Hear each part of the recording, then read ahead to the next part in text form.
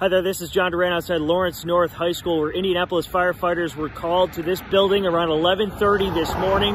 They found a fire on the second floor in a boys' bathroom that was uh, set intentionally, the Indianapolis Fire Department says. Students were released from school. We just saw bus after bus after bus taking students away from the school, bringing them home. Uh, this incident has now been turned over to the Lawrence Police Department to be investigated. We'll get you any updates as we learn them on 13 News.